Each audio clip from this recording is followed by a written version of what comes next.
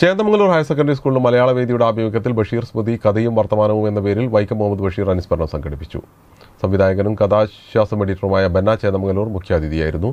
Principal E Abdul Rasheed ഉദ്ഘാടനം ചെയ്തു. അധ്യാപകരായ R Moidu S Jishad K C Anwar വിദ്യാർത്ഥികളായ Kailas S Krishnendu S എന്നിവർ സംസാരിച്ചു.